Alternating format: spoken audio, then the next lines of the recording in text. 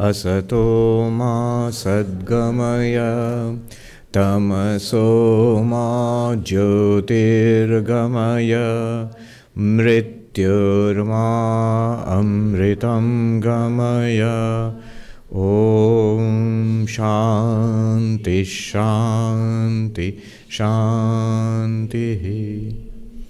Om, lead us from the unreal to the real, lead us from darkness unto light, lead us from death to immortality. Om, peace, peace, peace. Good morning, namaste everybody. So I went away for a short trip quick trip to India. Um, but now we're back for this session, uh, our usual Ask Swami session. What we do here is we have so many questions coming in from all over the world. And so we take a selection of those questions. Um, and also, the audience here, you can ask questions too. Not any question. I'm not Encyclopedia Britannica. questions related to spiritual life, especially to Vedanta, the path of self knowledge devotion, meditation, work. Um, the way it works is Diane, who's here, who's going to ask us some of the questions from the internet audience. And then you raise your hand, I'll call upon you, you come up here, and you ask your question. Now, these questions, whether what Diane is going to read out or what you're going to ask, don't keep waiting. I keep telling people, don't keep waiting for your question to come up, you know, and not listening to anything. When is my question coming up?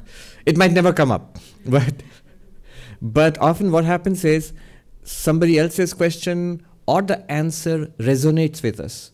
So it's always good to listen carefully.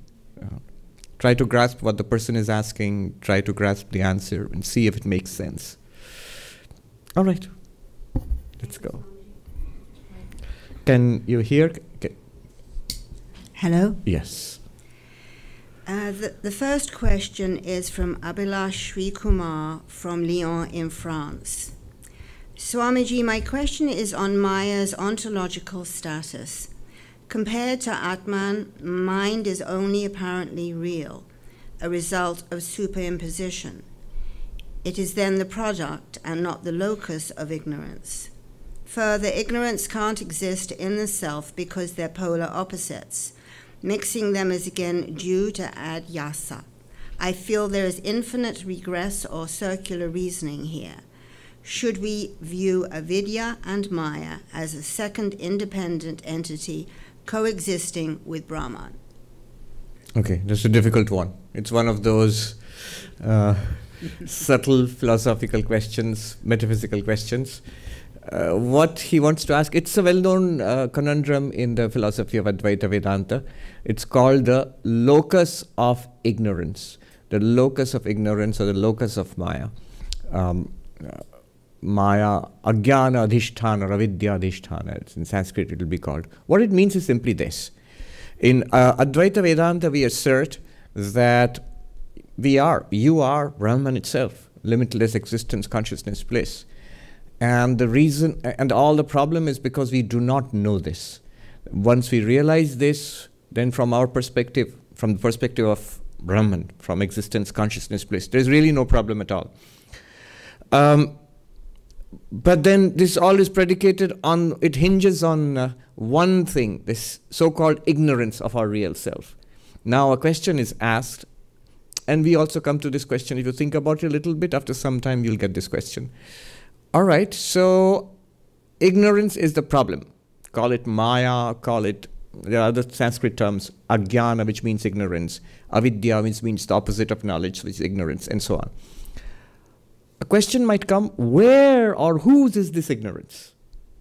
If all that exists really, really is Brahman, and then where is this ignorance? The ignorance can't be in Brahman. If Brahman is, compare it to the sun, there can't be darkness in the sun. Um, the the answer would be no, no, no. Ignorance is in us. in us sentient beings. We don't know our real nature, so ignorance is in us. Like all ignorance. I don't know maybe uh, German or I don't know Sanskrit, and my ignorance of Sanskrit, ignorance of German is in me. But then that doesn't make sense either. I, the sentient being, I come after ignorance. You see, it's only because I do not know myself as Brahman, that's why I am as this um, being, you know, as this limited being. After all, you're asserting that I am Brahman, I don't know myself. That's why I, I, I, am in this condition as a limited sentient being going through birth and death and suffering and all of that. Therefore, ignorance must have come before me. We catch this, then only the question will make sense. Ignorance, I'm still talking about the question. We're taking, making sense of the question. Ignorance has to come before I become a sentient being. I'm Brahman, everything is fine. And then somehow maybe the ignorance has come, and then I, I have somehow lost track of my real nature, and I think, just like a dream, for example. So you fall asleep, and then you are a person in the dream, going through nightmare, suffering, and all of that. But for that to happen, there must be a waker who has fallen asleep. So the sleep must come before the person in the dream. The dream arises only after sleep has come. You can't say that the person in the dream is sleeping. I mean, the, in the character in the dream. Character in the dream exists only because the, the waker has fallen asleep. So ignorance cannot exist in me. I am a product, I, the individual being, I am a product of the ignorance. How can ignorance exist in me? It's circular reasoning, as he says. So the question is, where does ignorance exist? Because, because uh, it can't exist in Brahman. The ultimate reality, it's supposed to be free of all problems. How can it have ignorance? And uh, it cannot exist in this individual being, sentient beings like us. We have ignorance about things in the world. We have lots of ignorance. But this primal ignorance about our real nature as Brahman cannot essentially be in me. It's prior to me. Surely it is in me, but it must be prior to me. Surely I do not know I am Brahman. I am unenlightened. I freely admit it. But this lack of enlightenment, this covering, this veiling, this Maya must be there before I become this miserable creature. So otherwise, it's, it's as he says, it's like circular reasoning. Uh, chicken or egg problem, which came first? Uh, seed or the plant problem, which came first? So, what's the answer? Um, the alternative he suggested is shall we then accept that there is Brahman and there is a power called ignorance separately existing? No, that won't work either. That will lead to um, dualism, which is anathema to the non dualist, that are two separate existences, two things. And then the whole of non duality will fall apart. By knowledge, you get enlightenment. But if there is a separate power which veils Brahman, then knowledge of Brahman won't help you. The veiling will still work. Um, okay. So, what's the answer? Where is ignorance? Uh, two answers here. I'll give you the real answer and then the more uh, commonly accepted answers in Vedanta philosophy, Advaita Vedanta. The real answer, to which we, we owe to Sureshwara, one of the great disciples of Shankaracharya, he said, It doesn't matter. it doesn't matter. Why? Because the question itself is, is uh, not a correct question. Where is ignorance? The answer is it isn't. There is no such thing, no such reality called ignorance. But we are in ignorance, we are seeing the eff- effects of it. No. Whatever is dispelled by knowledge uh, never existed in the first place. Uh, whatever you find by knowledge was already there. I have lost my, some people say, I've lost my glasses, and the glasses are right on the bridge of your nose. I've lost my glasses and looking all over the and and so what you have lost by ignorance, you don't know it's right there. You really haven't lost it. It's there. And what you find by knowledge, you don't have to do anything. Suddenly I realize it's there. And it's lo and behold, it's there. That was never lost in the first place. So ignorance is, I'm making a philosophical point here. Ignorance is not a reality. It's not what philosophers would call, doesn't have a, an ultimate ontological status. That's a fancy way of saying it's not ultimately real. You can take it as practically real because that's what we are trying to overcome in this world. But ultimately, when you are enlightened, you will see that there never was something like ignorance. Uh, so, this is the actual answer. It's not a question that we should be bothered with. Proof of this, uh, this also is look at the enlightened ones, whomever you call enlightened in the non dual tradition, whoever. None of them ever looked back upon their state in ignorance and said, hmm, I wonder where that came from. I mean, I am enlightened now. I am Brahman. I'm, I'm free. I'm, it's all done. It's worked. But that thing which was there, where did that come from? That's one mystery that still remains. I have to give an answer. Where was ignorance? No, it's not a question for them at all. It's not a real question. It comes up because the mind wants to know. Okay. What's the um, traditional answer which is given, which is accepted if you go to a classical Advaita Vedanta Pandit? He'll give you one of two answers. The two possibilities ignorance is in Brahman, and ignorance is um, in the um, individual being. First, ignorance is an individual being. Who says this? Uh, this is said by one sub school of Advaita Vedanta called the Bhamati tradition. A great master called Vachaspati Mishra, about a thousand years ago, uh, he wrote this major commentary on Shankara's commentary on the Brahma Sutras called the Bhamati, and which propounded this theory that ignorance is in us. But doesn't that lead to circular reasoning? He says no. Um, because uh, the ignorance which is because of which we are here today, it's, it's something that, that was there in the past life. And that led to this present life and this present ignorant existence. And when you get enlightenment, when you get knowledge, that ignorance is destroyed, it's dispelled, and you realize you are Brahman. Where did that ignorance come from? From past life. It's not circular. But it's not circular like he asks. So it's a very well thought out question. If it's not circular reasoning, it's infinite regress because the question will be in the past life, where did that ignorance come from, which was there earlier, for, because of which we are here now?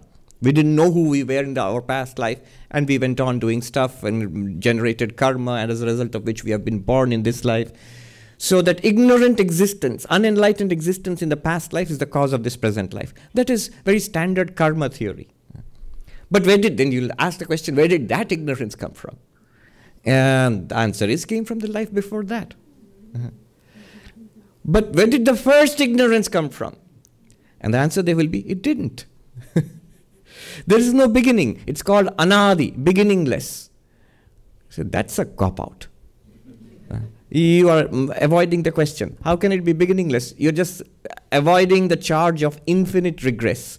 In Sanskrit, it is called anavastha dosha, reasoning without foundation. You're trying to find a foundation, a beginning, and you can't find a beginning. You say it's beginningless. How can it be beginningless?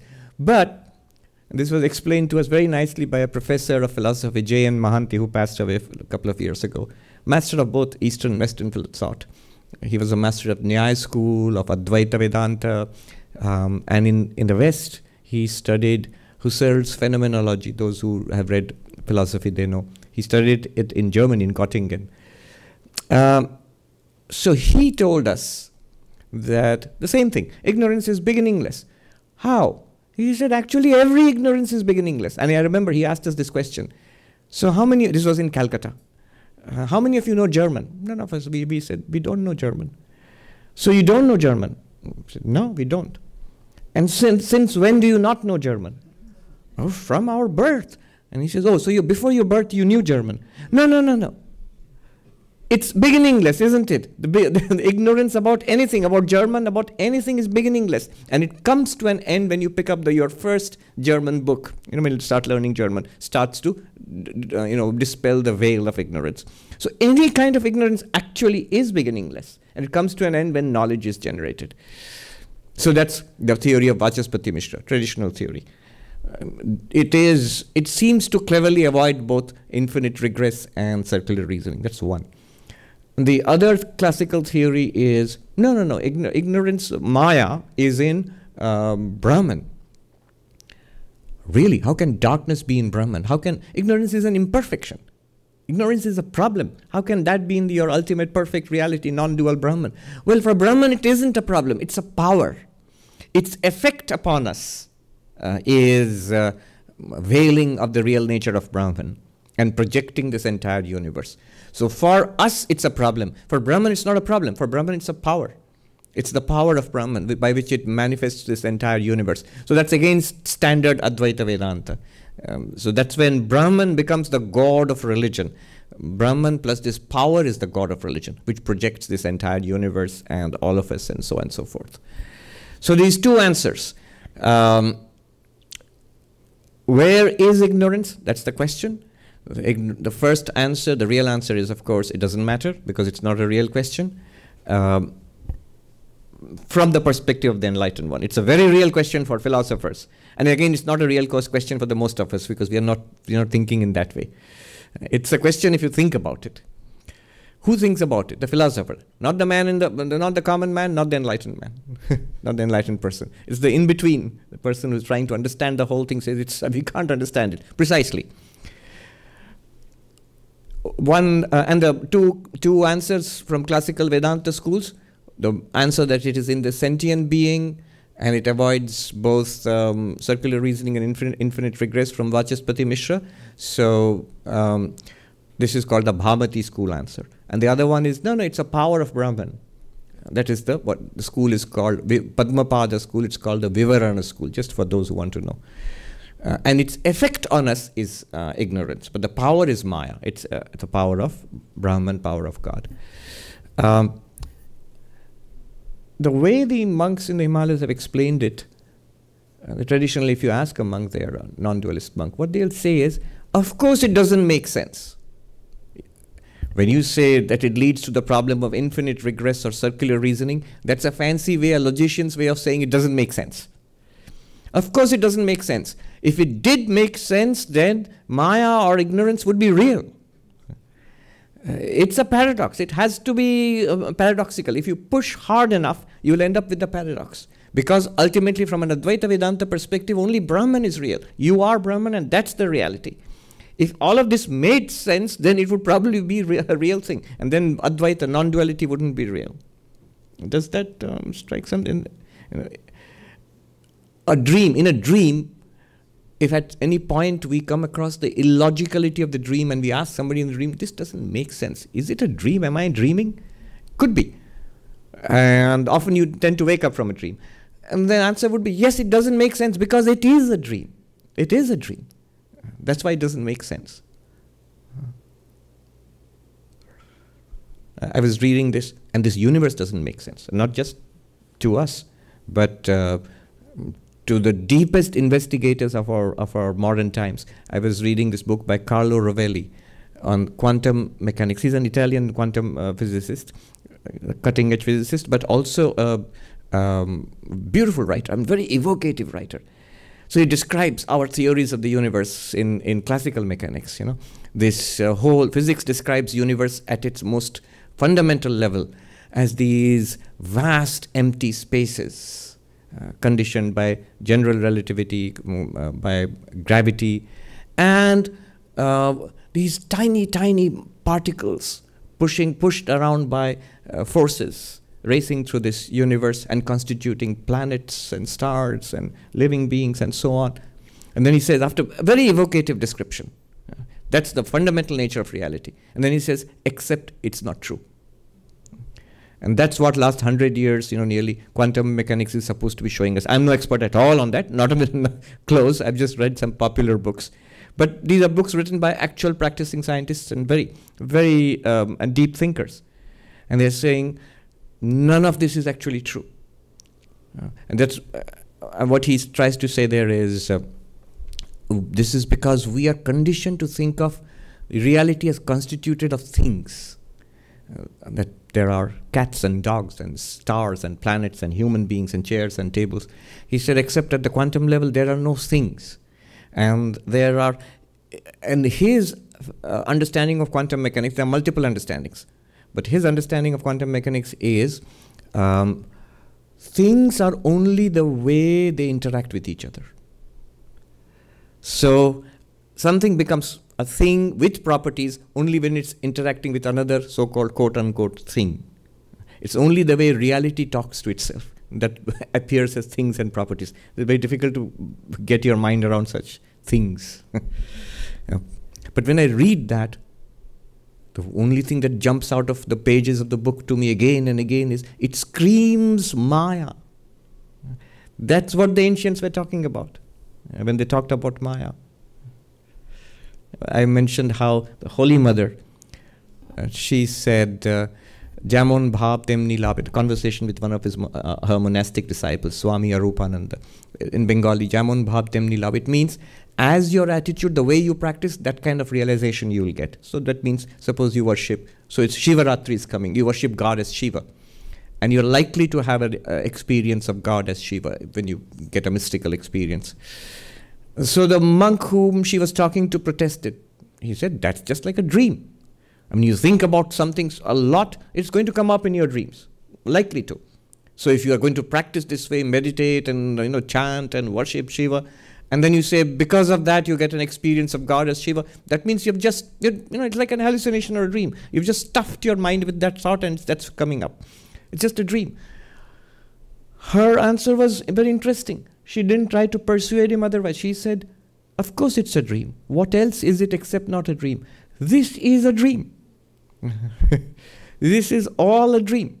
And then she pointed a finger and swept it across what she was seeing. And the Swami writes in his mem- memoirs, within brackets, Jagrat Avastha, our waking world, was what we consider to be real. She is pointing it out. This is a dream. Then he protests. He says, No, but this is not a dream because this persists. Dreams come and go. There's so many dreams every night.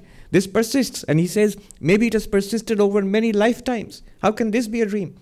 And again, she doesn't try to convince him. She, uh, she says in Bengali, Ta holeiba, shopno boito noy. Let that be so. It's nothing more than a dream. It's nothing more than a dream. That's what leads to those paradoxes. I remember this book by John Barrows. He was a, he's a mathematical philosopher, mathematical physicist. Um, he came here. To, there's a new school uh, here. I heard him speak on the um, on unknowability. there. So he has got this book called Impossibility, and he says um, there that any field, in every field, we feel that if you advance far enough, physics, mathematics, biology, whatever, the feeling was you will complete the field. You'll get a full deep understanding. And yet, what we are seeing in just about every fundamental field of study in science is you're ending up with paradoxes, incompletenesses. Whether it's mathematics, Gödel's famous, he was right here in the Institute of Advanced Studies in Princeton, famous incompleteness theorems. Um, or in physics, uh, you have uh, this, uh, yeah, uh, this, uh, uh, what is that called? Einstein's relativity, then then this uh, um, uns uncertainty of the mass and I think position of the particles. Heisenberg's uncertainty principle. So just look at these terms relativity, uncertainty, incompleteness, just the terms themselves. I'm not going into the depths because I have no competence there. So every field of study, instead of being completed, as we go deeper and get a better, more sophisticated understanding, uh, it's not solving the mystery. It's not giving completeness as yet, at least. It's just showing, um, throwing up paradoxes. Okay. Um, should we take one more question and then go into the audience questions? Yes. Shuman Aik from Mal- Malaysia asks What is the difference between consciousness, awareness, and mindfulness? Mm consciousness, awareness, and mindfulness. See, I won't answer the question directly. I'll take consciousness and awareness first. Um, these are words which are ambiguous. That's why in my talks on Vedanta, I use consciousness and awareness interchangeably. Because none of them precisely capture what uh, Vedanta means by Chaitanya, Chit, Chiti, Bodhi, samvit, uh, multiple words in Vedanta. It's something that they dealt with, so they came up with. I always think of the Eskimos are supposed to have some 20 words for snow or something like that. They always live in a snowy environment, so there are little variations of that. So in that way, these ancient Indians came up with multiple words for that ultimate reality as pure consciousness. Um, the Buddhists have a very evocative phrase. I don't know the original Tibetan for this, but it, it says clear light of the void. So reality, according to them, is emptiness, but it's a, it's a luminous em- emptiness.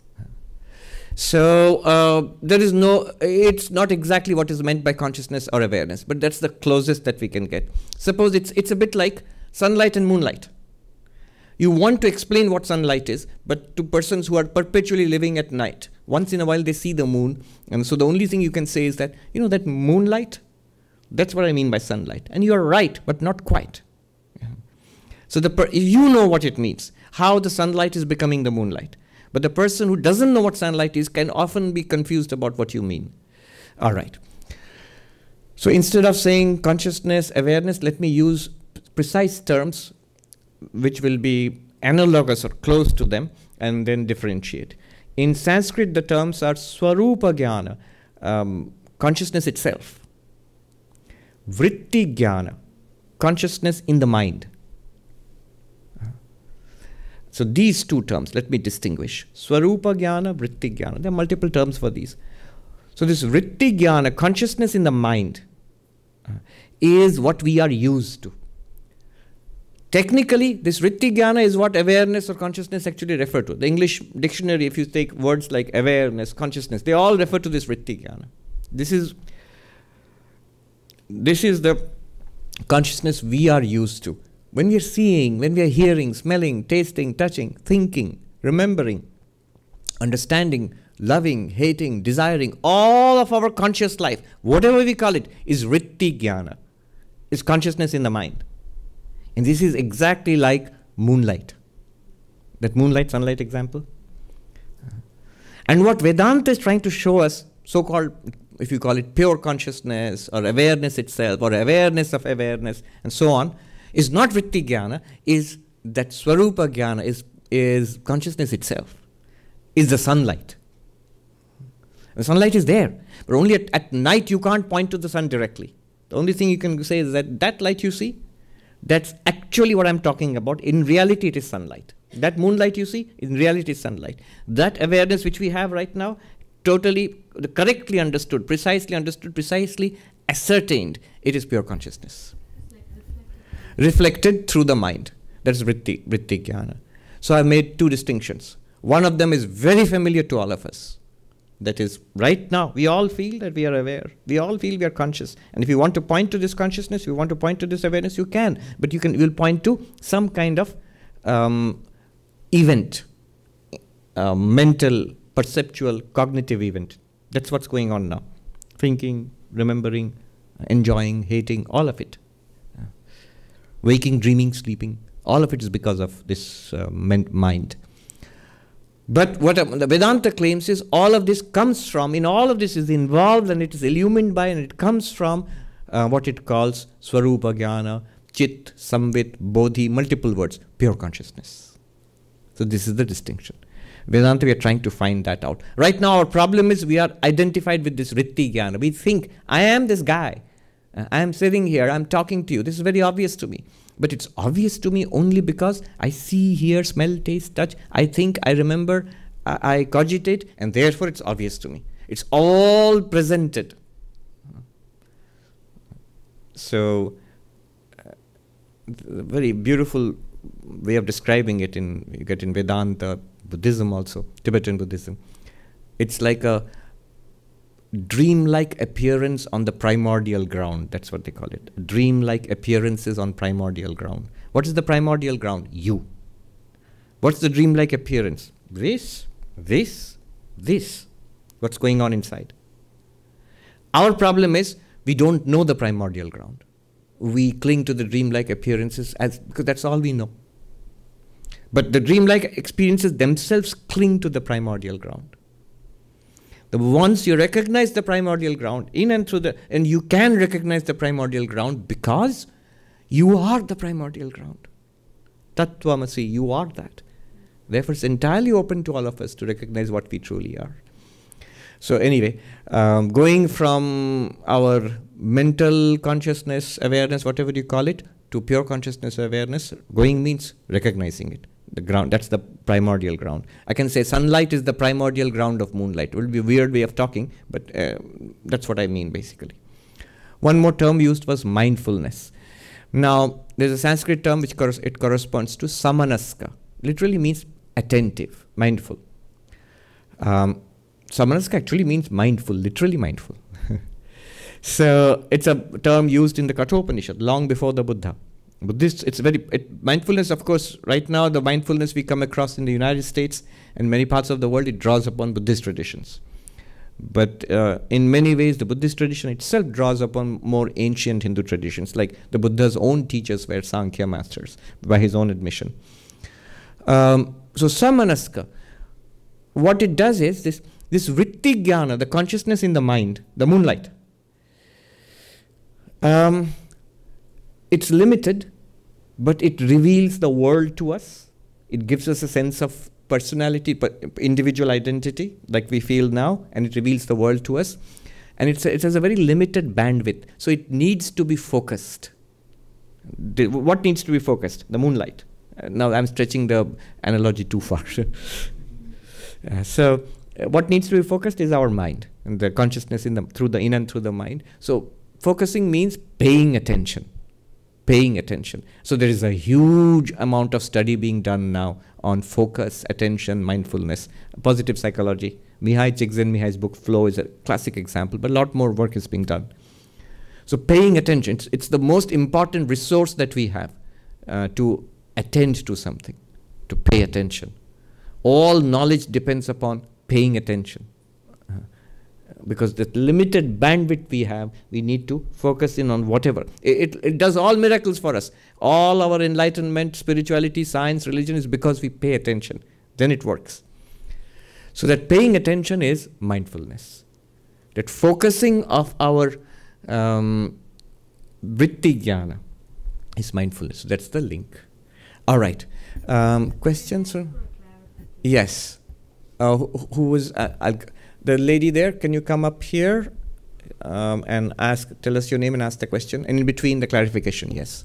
When you say vritti jnana, do you, is it synonymous with reflected consciousness? So question is, when you say vritti jnana, is it synonymous with reflected consciousness? Yes. Consciousness is reflected in the vritti. Vritti means movement of the mind. So every mental movement that we are aware of, we are aware of only because consciousness is reflected in that. So that's vritti jnana. Yes, tell us your name and ask the question. Hello, my name is Jane. Yes. Um, I have a question about exper- my an experience. Yes. Um, I'm not sure if it's a process of nididhyasana. Um, so a brief description of this experience is. Um, yeah, it's on. Yeah. Um, so a brief what happened? I think you have lost the mic. mic. Just speak into it. So, yeah. yes. Um, so, at times when I'm in bed going to sleep, uh, I'm aware that the body is going into sleep mode while the mind is extremely lucid and placid. Understand that everything happens in us consciousness, but my mind is now trying to put a finger on whether it's a process of something, what it's all about. So, thanks. Okay. So, what happens in the mind is a process. The mind is always working and it works in sequence, so it's a process. Waking is a process, falling asleep, transition from waking to uh, sleep is a process. Then generation of dreams is a process, and then waking up again is a process. But um, the luminosity which illumines consciousness itself, uh, which illumines the mind itself in waking, dreaming, deep sleep, that's not a process. It's, it's always there. Now, would you say it's static in relation to the changing mind? It's static, but static is also not a right way of describing it because static means the possibility of motion. When something is still you are static you're not moving but you can move. Pure consciousness atman brahman is um, is neither there is certainly no activity going on there but there is certainly it's not something that's still also. It's beyond the possibility of stillness. It's the witness of stillness and activity. Let's put it that way. It's the ground of both stillness and activity in itself, you cannot predicate stillness and activity to it. Um, for example, waking and dreaming are processes, and there's activity going on. Whereas deep sleep seems to be not a process, stillness, complete cessation, phenomenological from our perspective. Of course, the body, if you examine it in the brain, something is going on, but in uh, for us, blank. So that's stillness. And waking and dreaming are activity. But these are all three of them are appearing and disappearing to you, the witness consciousness. So that witness consciousness is the witness of both stillness and activity, of the process and the not process. Yeah. Thank you. There's a subtle question. Thank you. um, one more question. The gentleman right at the back. Yes. Right at the back. Please come forward. Uh, I'll, I'll come to you next time. Yes. Please tell us your name and ask the question. My name is Wali Muhammad. Um, is okay. Does existence manifest from consciousness? Uh, my understanding from my studies thus far are that everything exists within consciousness. Um, but does existence manifest from consciousness? Is it a quality of consciousness? Is it the ground of consciousness? I can give you a precise answer from the Vedantic perspective. Existing, according to Vedanta, Advaita Vedanta, existing things manifest from consciousness. Existing things in the Heideggerian sense. Existence itself, of course, does not manifest from consciousness because consciousness itself exists. If existence were something that consciousness manifests, then prior to existence, consciousness would be non existent. So, existence and consciousness are uh, the same thing. From a Vedantic perspective, pure being and pure awareness are the same thing. Existence, awareness in the sense of um, just the luminosity, uh, just it's not a dull, dead object existence. Uh, it's uh, shining existence. Let's put it that way. And yes, it manifests as existing things, as tables and chairs and people and thoughts and ideas, as waking, dreaming, deep sleep, and all of that. Thank you. All right. Um, let's take a um, couple of questions again. We actually have two questions on a similar theme. Okay. Um, firstly, there's Chandra Sekhar, who asks Swamiji, if everything in the universe, both living and non living, is just appearances created by upadhis and maya, is it also true that the Sukshma Shariram and the different lokas it might go to is all just maya created appearances? Is it the Sukshma Shariram that takes birth after birth due to karma? What really happens during self realization? Who realizes that I am not the body mind complex, but the supreme consciousness? And secondly, Hardik Patak from, U- from the UK asks When we say we are not the body, mind, and intellect, and Atman is Brahman, then who goes to hell, heaven, or the lokas? Who suffers or who benefits? Hmm. Similar questions, you're right. All right, this is another of those questions which comes up when you think too deeply about non dualists. yeah, and it's good to clarify. All right, the standard answer first. The standard answer is this it's good to know these things that, see, we have a physical body, subtle body, and of course a causal body, but we'll not talk about that now. But the physical body and the, and the um, subtle body. Physical body is this the public one, which everybody sees. That's a physical body. And the subtle body is nothing occult or mysterious. Everybody knows it and is, is experiencing it right now. We are all experiencing it. Our first person inner experience of thoughts, feelings, emotions, memories, our personality. In Vedanta, that's considered a body. Just like this is considered a body, this is a body, that's also a body. That's not the way we normally think. We think those thoughts, feelings, emotions, ideas, memories, stories, we are that. I am that, and I am embodied in this body. I'm a person, and that's what constitutes a person. Vedanta would say what you think of as a person is also a body. The real you is deeper still, is a deeper reality. Beyond that is something Vedanta calls a causal body, but we won't go into that.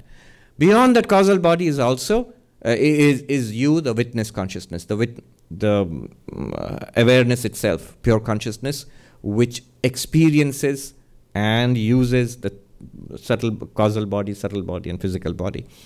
Now, the idea is this being, pure consciousness, limited by causal body, subtle body, physical body, it goes through births and deaths. What are births and deaths? Birth of the physical body, growth and living of the physical body, and then the aging and eventual death of the physical body.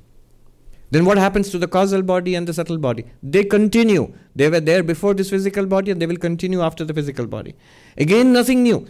Every culture in the world from pre civilization uh, days has stories about ghosts and you know, things which, are, which exist after death. So, yes, the subtle body does exist after death. We exist after death. When the computer dies, your data, hopefully, if it's backed up, is not gone with it. It's still there in the cloud. and you get a new computer, you can download your data if you're lucky. Similarly, this uh, subtle body, it goes on and um, it inhabits newer and newer bodies. And this is sort of a standard belief, uh, axiomatic in Indian uh, thought. I'm not just saying Vedanta, all Indian thought, all Indian thought, except perhaps the materialists, the Charvakas, Lokayatas, they were ancient materialists. Other than them, all Hindus, all Jains, all Buddhists, all Sikhs, they believe in multiplicity. And the subtle body is something that every civilization, all religions and all civilizations, including the First Nations, including ancient, every ancient civilization, every ancient religion that existed and gone out of existence, everybody in, had something corresponding to the subtle body, the thing which survives physical death. Um, so, what happens at death? The subtle body and the causal body, with the limited conscious, consciousness limited by them, it leaves this dead body and goes on to other bodies. How? Why? Fueled by past karma, by causality. Causes give rise to effects. Actions have consequences, so it will give rise to newer and newer existences. So, this is the general framework. Um, Advaita Vedanta has a different take on it. He says, yeah, this is the general framework, it's a story. Because they will always, it will go back to non duality.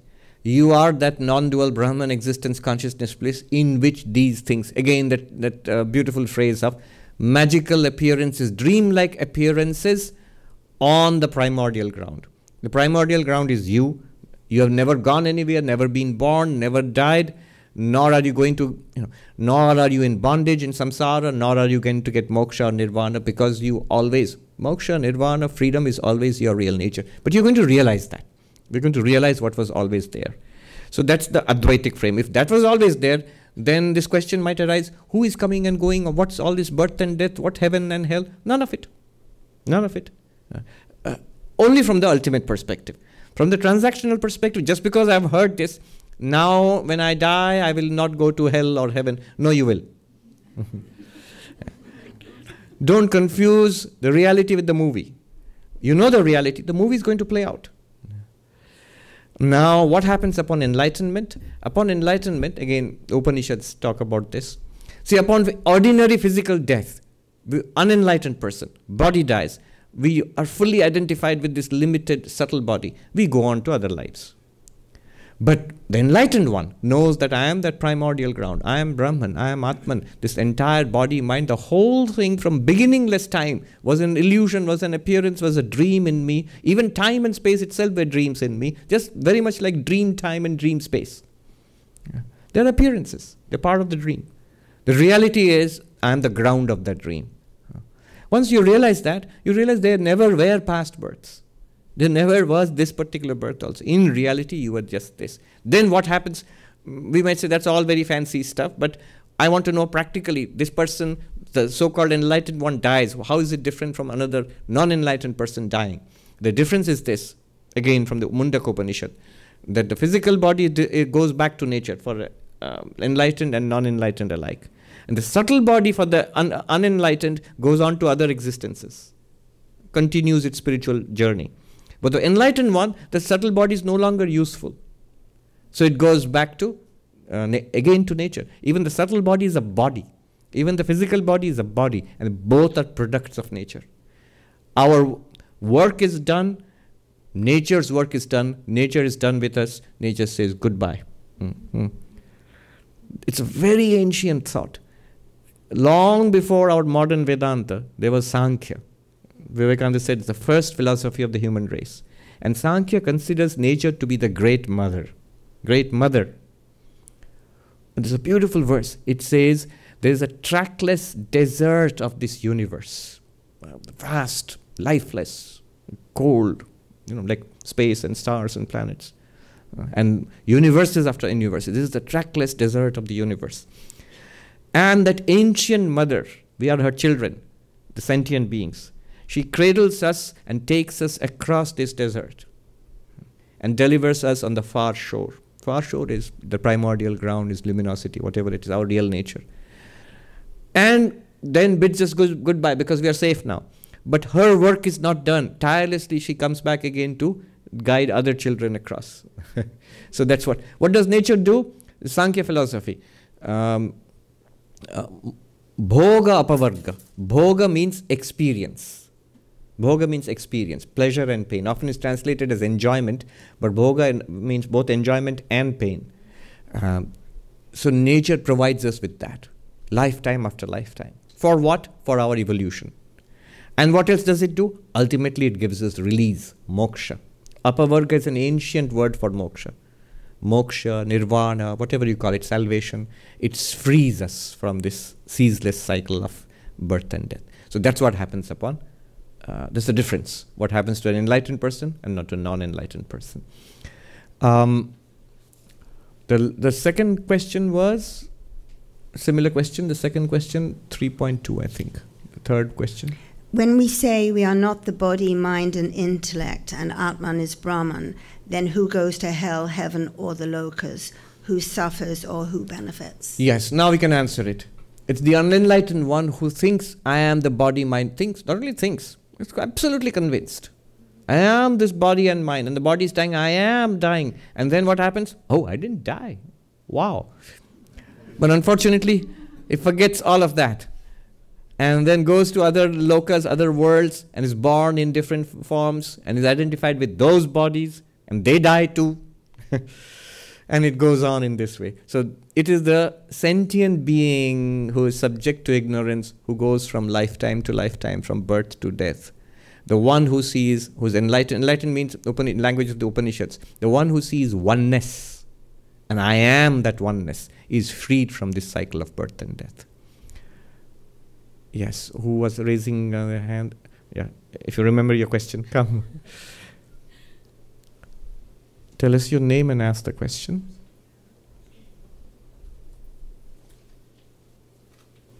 Hello নমস্কার Swamiji thank you শ্রদ্ধা এবং কৃতজ্ঞতা আপনার প্রতি my name is Sadia I will ask the more simple question because of time and that is How does a lay person go about choosing a life partner that flourish into a healthy relationship and at the same time stay true to the divine path? Yeah. No. that that threw me. Yes. You realize you're asking a monk. yeah. Um, the rather dreary and disappointing answer is that it's all predetermined by our prarabdha karma. we only think are choosing, but you so, sort of end up with what we deserve, um, what we are fated to. Yeah, but some practical advice, but it's it's not entirely out of the realm of spirituality because these are relationships which are very very important, and uh, um, because they consume so much of our time and energy, uh, it's it's very important to uh, have somebody who's like-minded, who has got some spiritual aspiration. Might not be exactly the same as you have. I've seen couples who are um, spiritual. Both of them are uh, spiritual, maybe in different ways. Uh, that's perfectly fine. If you're spiritual in the same way, even better. That's also wonderful. But if you have sp- some spiritual inclination and a serious spiritual practice, uh, that's very good. Uh, otherwise, there's too much friction. Um, somebody is pulling you towards the world and somebody is pulling you to mm, towards something that seems very otherworldly, and then it leads to unhappiness. Leads to um, there is no fulfillment in the world at all. Both of them are jumping into the world, and let's. So we are all uh, like-minded, and we are both like-minded in the worldly sense. Well, we are both of the. We are going to be likely to be very unhappy after some time, and then maturity comes. Some kind of spiritual uh, awakening, awakening or interest in spiritual life comes. So yes, this much only I can suggest is uh, that choose a life partner if possible uh, who has some interest in spirituality. I mean, takes it seriously in his or her own way. Okay, that's a good one. Thank you. can we? It's getting a little warm in there. Can you open one of the windows for for a little while? Maybe it can, or the door outside. It'll give some ventilation. Uh, we'll take one more question. The gentleman there. Yes, come up here. I'll come to you next.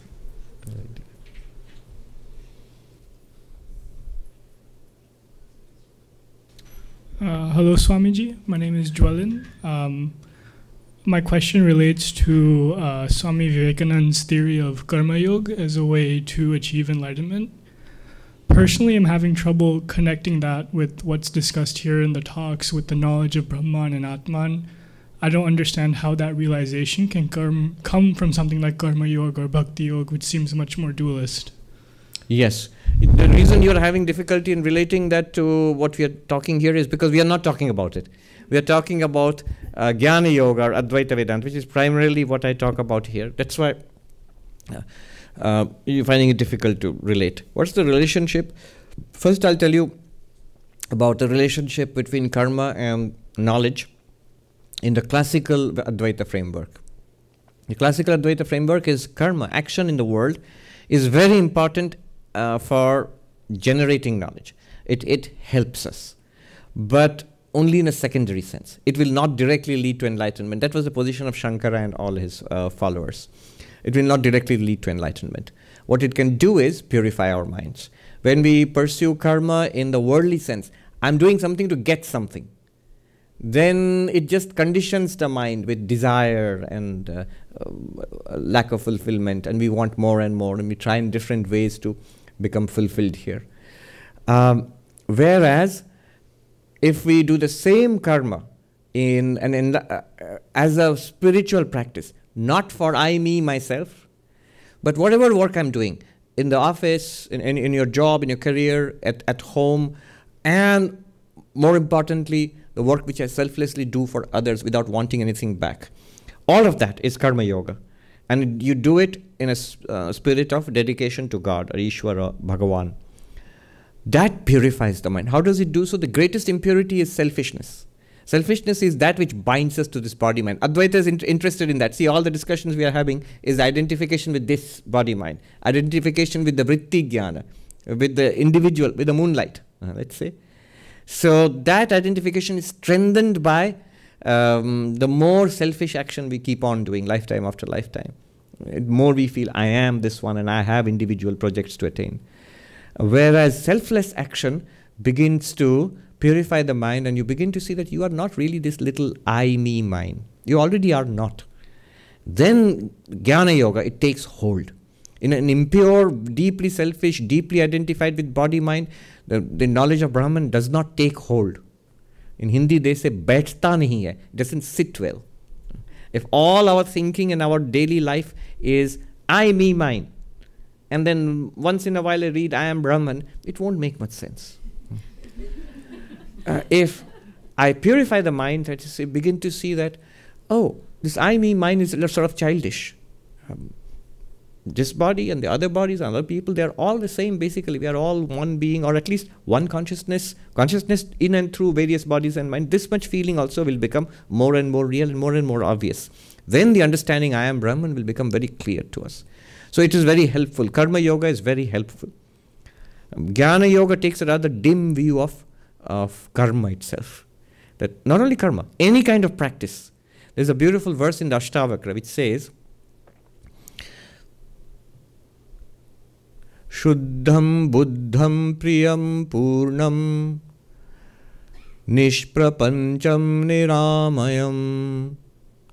आत्मानं तं न जानन्ति, तत्राभ्यास तत्राभ्यासप्रियो जनाः तत्राभ्यासपरो जनाः People do not know themselves as this pure being. Pure being means beyond karma, good and bad. They do not know themselves as, this is Shuddham, Buddham, they do not know themselves as this limitless consciousness, witness consciousness. Priyam, they do not know themselves as the source of all fulfillment and happiness. That's why they are, we are running around. You know, you're a billionaire, basically, running, running around with a hat in hand for a little handout from the world. You're a billionaire. You don't need anything from the world. Nisargadatta Maharaj was a non dualist in Mumbai. He says, this very, this world, this actually his, his uh, words were, this very sense of being or presence which I have now, even this also I have no use for. We say, I am not the body, not the mind, pure consciousness, pure awareness. This pure consciousness, pure awareness is also mediated through the mind.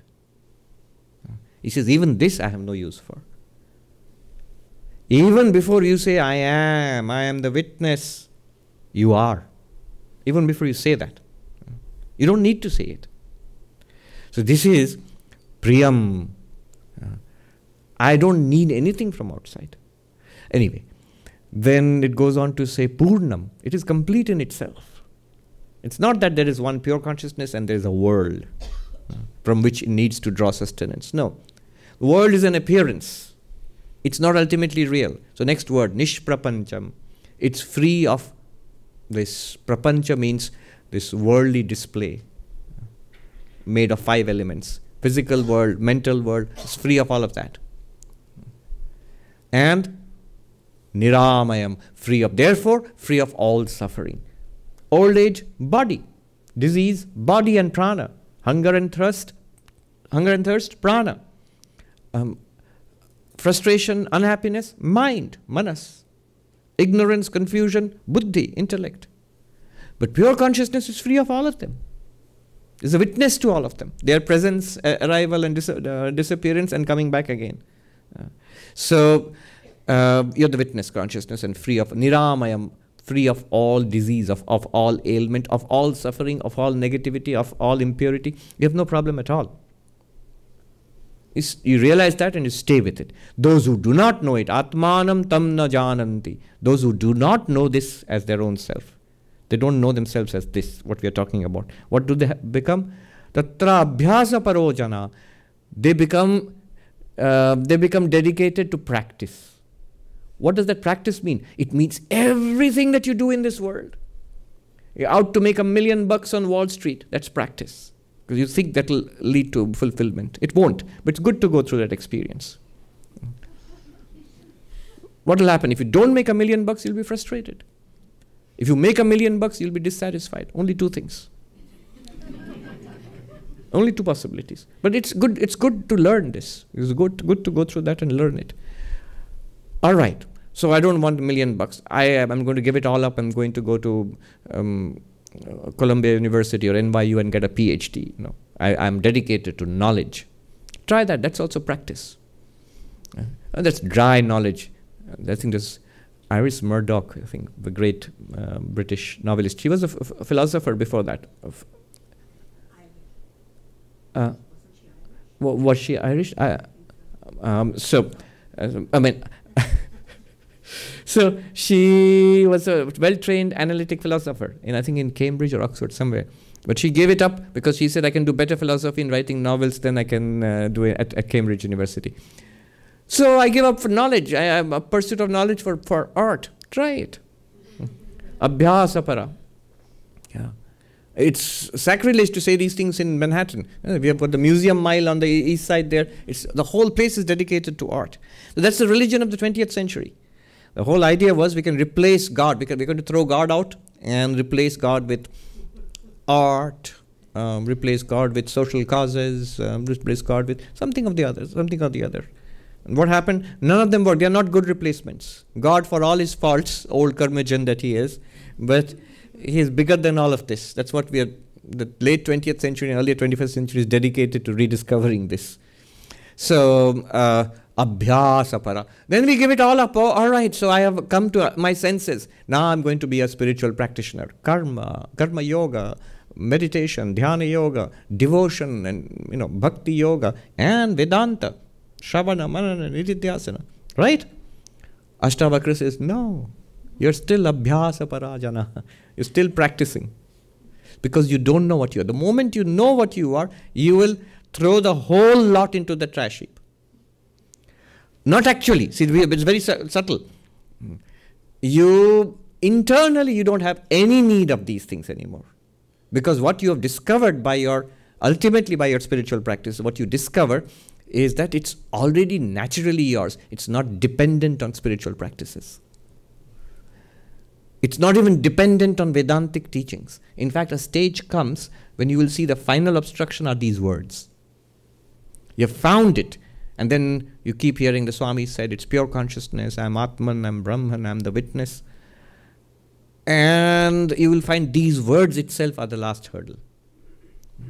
Let go people make a mistake that at least we have to hold on to this teaching, right? I let go of everything else. I have to hold on to Vedanta only, only as long as we are in ignorance. When you're enlightened, you have to let go of Vedanta. Uh, Upanishad say that Veda Veda bhavanti. Veda Vedas are no Vedas at all. So once you have, dis- of course, once you've discovered that, you let it go earlier at your own peril. It's the pole vaulter who races along and then vaults up to the highest um, height he can, he or she can, and then the pole vaulter has to let go of the pole. If you say, no, it's taken me so far, I'm dependent on it. no, let go. Then only you can go over the barrier, you can cross over into enlightenment and freedom. Oh, I let go. So when I'm running around, let go. Okay, let go. I don't want it. The master told me that's the most advanced practice to let go. well, then also you're in trouble. So this is the traditional idea about karma yoga that it's the part of the pole vaulting, the pole that includes many other things also, devotional practices and at its basis ethics. All of these are the pole which will catapult you. And the final thing is the Vedantic, the innermost practices are the Vedantic, hearing, reasoning, meditation. Now, Swami Vivekananda, he says to Swami Turiyananda, who was also Vivekananda and Turiyananda were both here, not in this building, but both the Vedanta Society of New York at one time. He says to uh, Turiyananda in India, he says, Hari Bhai, he used to call him Bhaya, brother. Brother, in this age, I have, I have made a new path, as in days of old. Young men and women, as in days of old, there was meditation and prayer and you know philosophical inquiry in the days to come, there will be young men and women. He specifically mentions women. Young men and women, I see them working out their way to salvation through karma, through the path of service. So that's an entirely different yoga. I'm not going to go into that. Um, the paradigm is different there. The problem is this selfish clinging to pers- personality, and the solution is a direct attack on that selfishness. And classical Advaita would say, yeah, that's great, but finally you have to come and, you know, Upanishads and uh, you have to come to Vedanta class. Swami Vivekananda says, not necessarily. Your real nature is already there. Remove the veil of selfishness and what else remains? It should very easily shine forth. You don't have to put much forth, much effort into it. In fact, the other way around, those who have not put effort into karma yoga and they rush into jnana yoga because I want the best. It's like the letting go of the pole or not using the pole at all. then uh, your jump falls far short of the. yeah, yeah. So this is the difference. I highly recommend Karma Yoga, the little book, Swami Vivekananda, uh, that book. Um, what's his name? J.D. Salinger, the novelist. He uh, he writes these two little classics, Karma Yoga and Raja Yoga, about Vivekananda's two books. These two little classics, our American youth would do well to carry around in their pockets this was in the 1960s, I think. Yeah. All right. Thank you. Uh, one lady was there. She raised her hand. Could you come here for the question? Yes. If you remember the question. Often people forget. tell us your name and ask the question. Pranam Swamiji, Tanuka. I, actually, I think you just answered most Good. of the question. uh, so my question was about practicing vairagya, uh, detachment. It's something I've been thinking about for a long time and trying to understand. Um, and a few Sundays back, I you gave a very beautiful um, suggestion of practicing vairagya by th- looking at everything as divine play, play of the divine. I think that was really powerful. Um, thank you very much for that. So, uh, my question today was about is there uh, a non dual way of understanding the practice of vairagya? And um, I think you Yeah, spoke to it. Vairagya, it's, it's very important to practice Vairagya. One is to move, as I said, um, so as a four yogas, the structure puts it, move from selfish action to selfless action. Even when it outwardly might seem selfish, because you are holding a job and getting a, you're getting paid for it, so it seems selfish. But internally, you have changed. You are not no longer doing it for the sake of that money. Yes, the money is good because you have to live anyway. You need money. Um, uh, uh, then, but your whole goal is now using that work as a worship of God. Uh, so that's why Vairagya too. And Vairagya means dispassion for worldly goals. The classical Advaita Vedanta has a very high view of Vairagya. I mean, it's very important for Advaita Vedanta to not to catch hold of, because if it's a dream and you're clutching onto the dream as real, that could that's the serious obstruction to enlightenment. So, at three levels, uh, at the highest level, as you said, it's a play of the divine. Everything here is nothing other than Brahman. Isha Upanishad speaks to that. Isha vasyam idam sarvam yatkincha jagatyam jagat. Um, cover everything here by the Lord, by Brahman, that everything is this one divinity. Uh, how, what do you mean cover?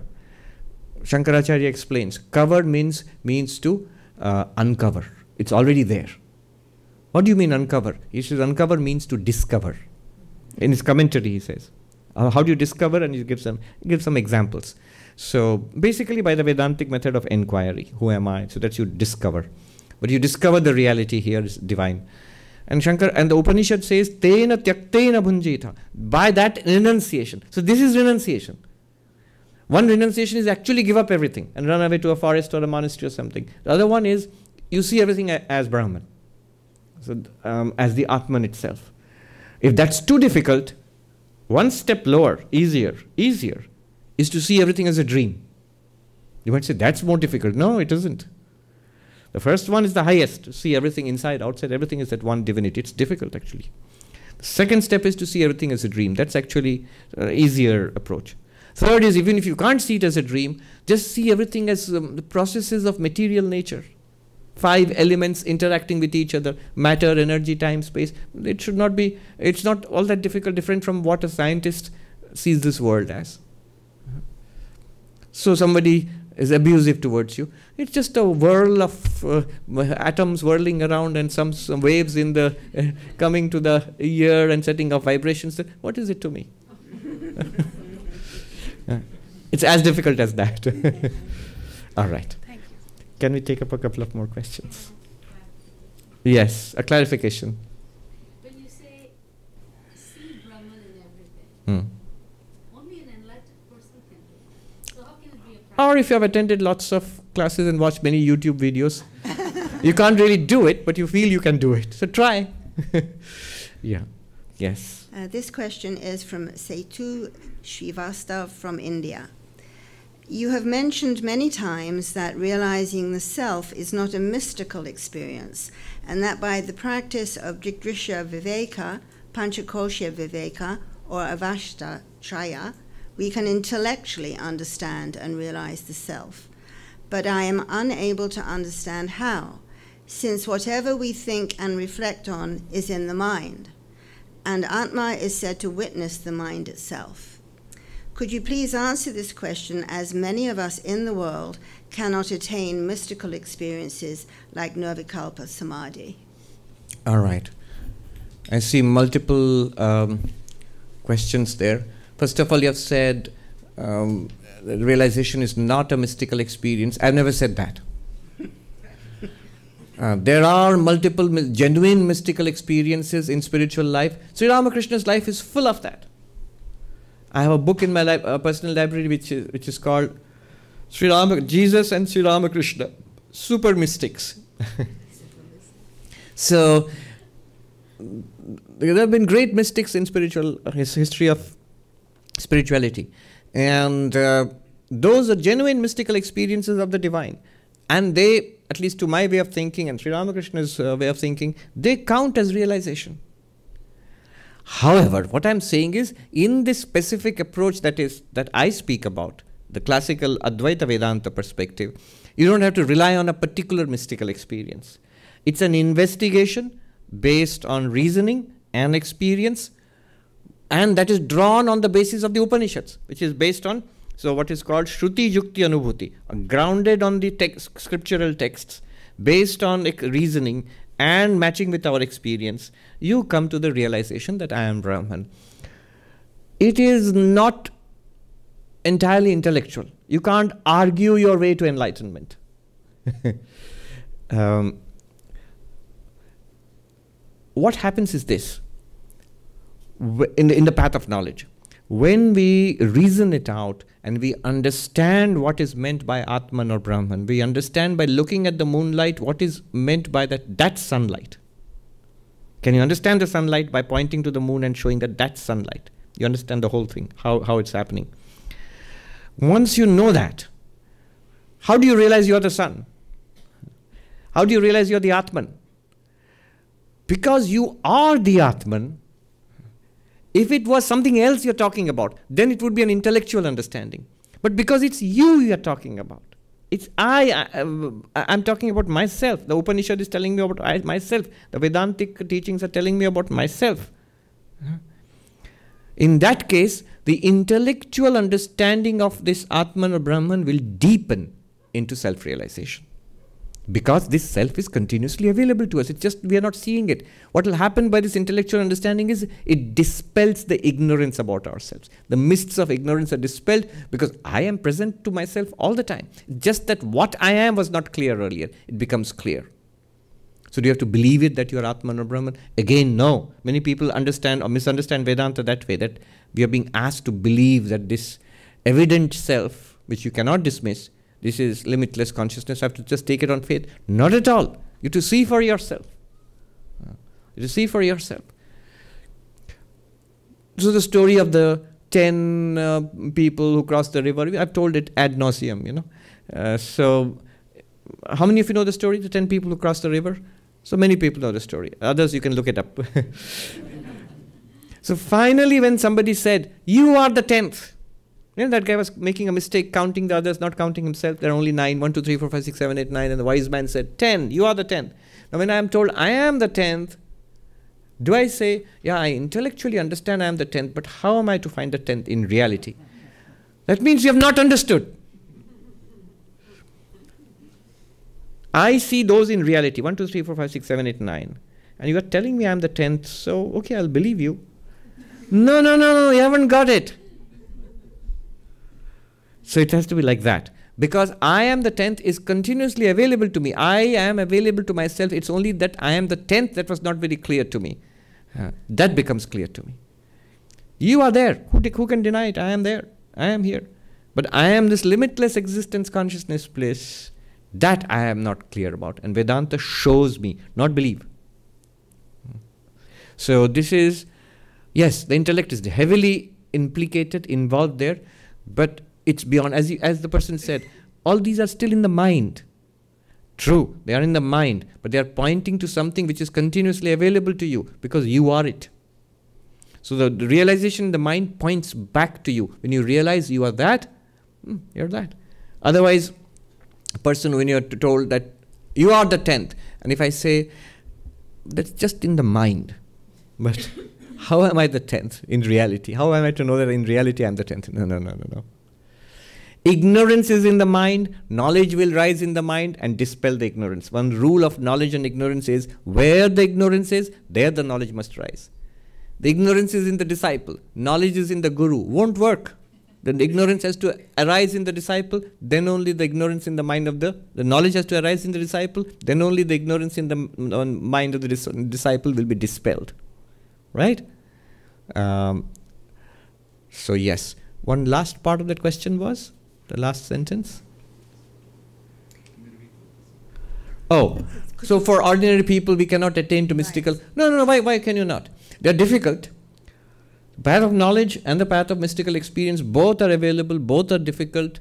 Uh, both require spiritual practice. It's not a question of us ordinary people. Nirvikalpa samadhi is not easy for anybody to attain. Uh-huh. So the path of mystical experience and samadhis are available for everybody. And in fact, they are highly recommended. Sri Ramakrishna says no matter how much you do this reasoning, Vedanta, unless one attains to samadhi, he says in Bengali, thik hoyana. Um, how do you put it? It's not rightly done, it's not completely done yet. Uh, unless you have this complete shutting down of the world experience and the body mind experience, and that alone then you bring it back into this world of appearances. You experience the primordial ground as the primordial ground, as you yourself, not as an object. And then when you are back into this world of dream displays, you still know that this is the primordial ground, though it appears like this. You know it. No, don't believe it, you know it. All right. Well, let's do one more. Exactly. Okay. It's uh, again two people with a similar question.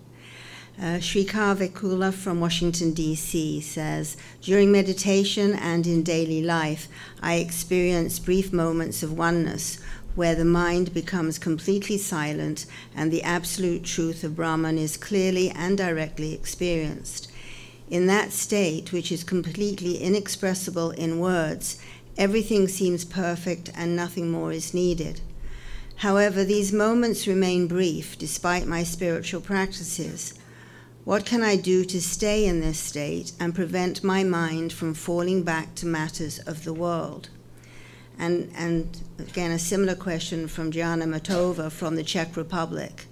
For many years now, I have felt a tiny but everlasting happiness somewhere in my chest, something which is still the same, unchanging, and keeps me feeling fulfilled. I believe that self realization is for me the only possible and acceptable goal of this life. In that pursuit, I am a bit confused if I am to follow some of the four yogas. I'm naturally inclined toward Jnana Yoga and Karma Yoga, which I am doing, a bit of Bhakti Yoga too, but meditation is probably not for me. But I'm still turned within to the feeling of joy.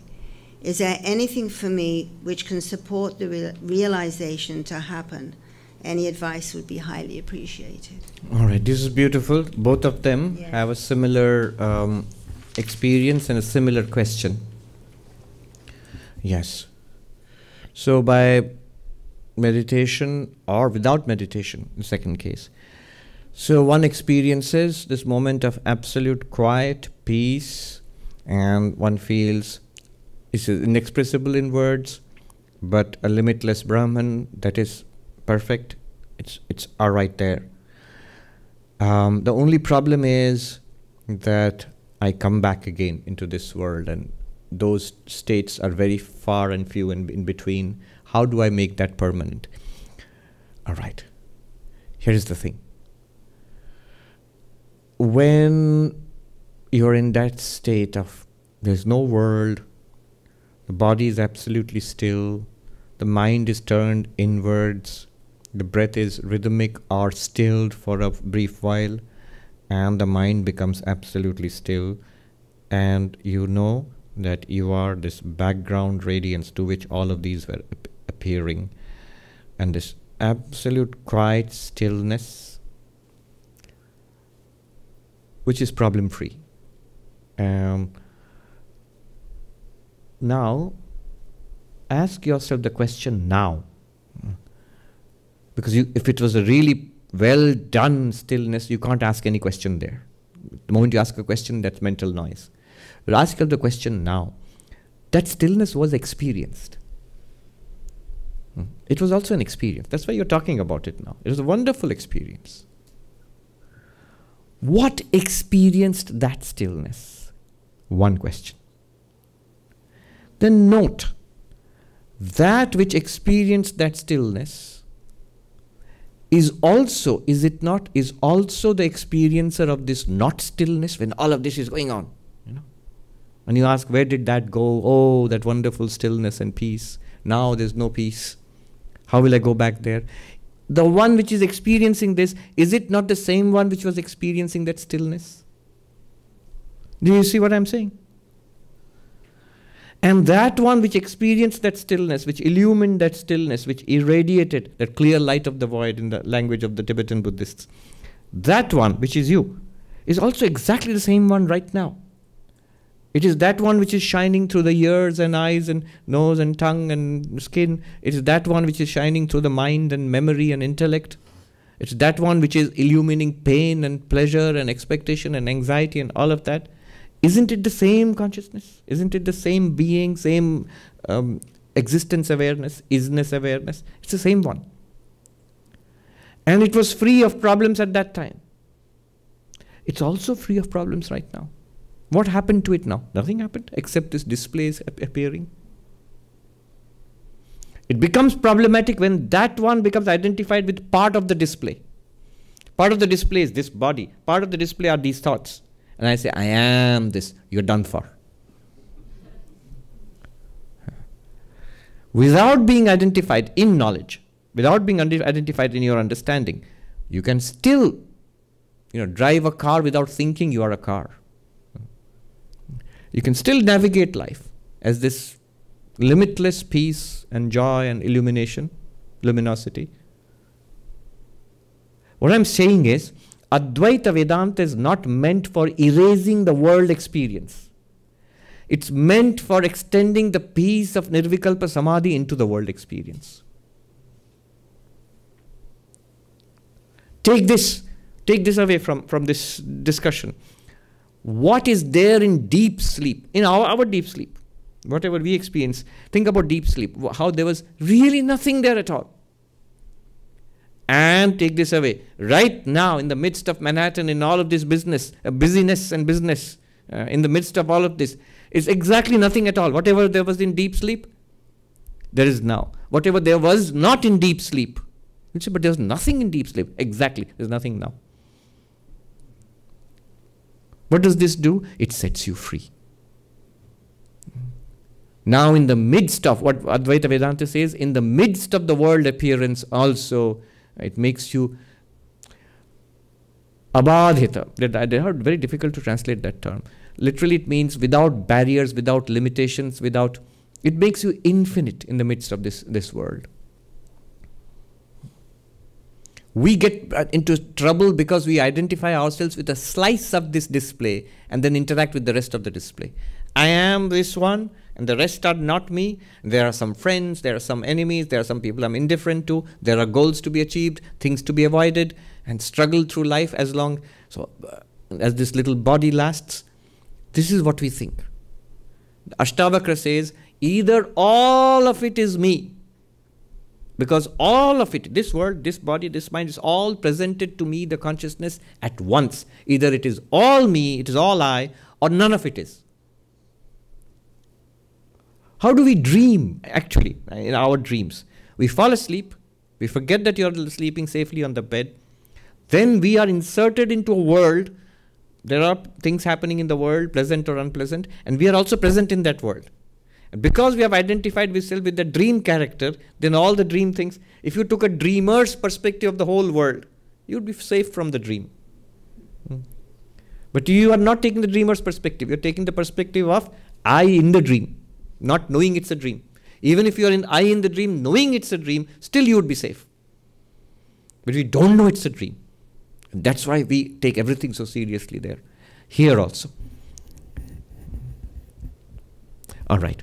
So, in deep meditation, take that into practice. See, this is the core of advanced spiritual practice, whether meditation or karma yoga or bhakti and jnana yoga. This is the this is a principle of advanced practice. When you're doing the practice, at one point you must dissolve the barrier between practice and life. Dissolve the barrier between practice and life. What is clear in practice, in meditation, in Vedanta, and all of that, should be as we open our eyes, as we walk out of this place, it should be clear and boundaryless. It's there, that's life now. Then it's done. Then, according to uh, Swami Brahmananda, then your spiritual life begins. Before that, you're trying. we are trying. He says spiritual life begins after Nirvikalpa Samadhi, he said. Yeah. yeah. So that's a very high note to end on.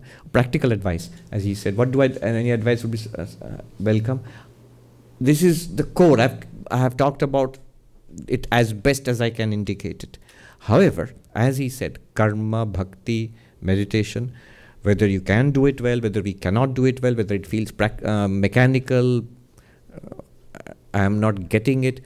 It's good to practice.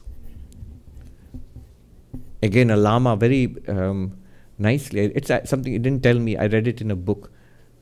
This, there were multiple warnings after the teaching of the highest non dual teachings in Tibetan Buddhism, Dzogchen, like Advaita Vedanta. The warnings are yes, you and your Guru are one. Never forget to show respect to your Guru. Yes, it is the same thing with eyes closed and with eyes open. Never neglect your meditation. Yes, it's the same thing in the city and in the forest. But whenever you get a chance to go into a retreat, never miss a retreat. Like this uh, multiple warnings. It is the same, no doubt about it. But for that purpose, don't make the terrible mistake of giving up spiritual practices and telling the guru that, yeah, okay, old guy, I know what you are and I am, we are the same, you know, I know that now. God save you then. yeah, those are also traps of the mind. All right, on that cautionary note, let us end with a peace chant. Om Shanti शांति शांति हरि ओम तत्सत Sri Ramakrishnarpanamastu. Oh yes, the basket. Yes, the basket. Uh, you can use the time for clarifications, questions. Uh, yeah, we can we can even anybody wants to follow. Yeah, you had a question, right? Uh, just just ask.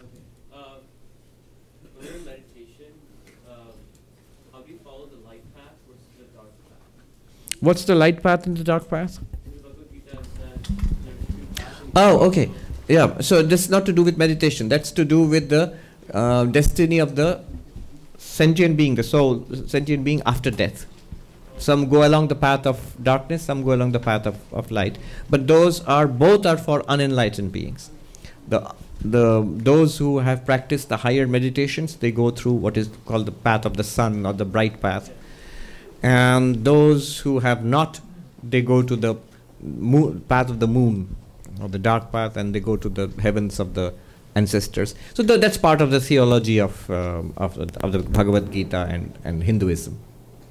So, like the sun, is that part of the nature, like Mother Nature taking you towards the moksha? All of that is towards moksha, but in Vedanta, neither both of those are signs that we have not attained enlightenment because those who attain enlightenment don't go through this path or that path. They don't go at all. As I mentioned, the body dissolves here back into nature, and the subtle being also, the subtle body also dissolves back into nature. You remain as Brahman. That's freedom. And that's what we are, uh, we are trying right now to dissolve the dream once for all, to see through, to cut through the dream. Um, otherwise, what happens is uh, it's you're replacing the dark path and the light path. You're replacing a not so good dream with a nice dream. They're still both dreams. As the mother said, it's nothing but a dream. But you have to wake up from the dream. Yes.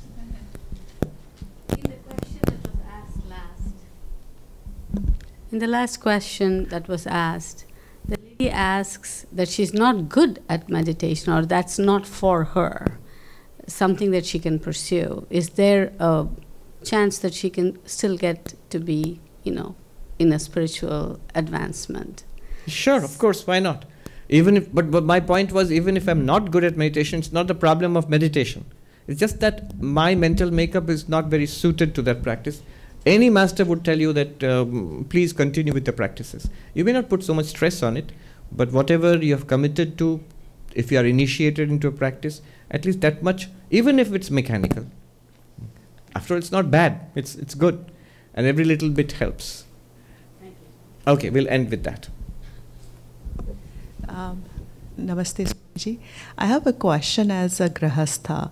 So, um, you know, my first question is regarding the life partner question that was there. Like, if you have uh, Somebody opened a can of worms. so, like, what if you have a life partner like who does not same spiritual path as you and keeps pulling you back? That's first.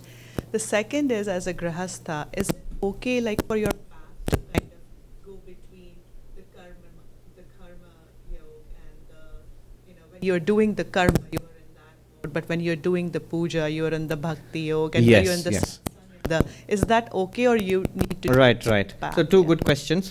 The first one is if you have a life partner who's not interested in spirituality, I see this quite often, it's often a struggle.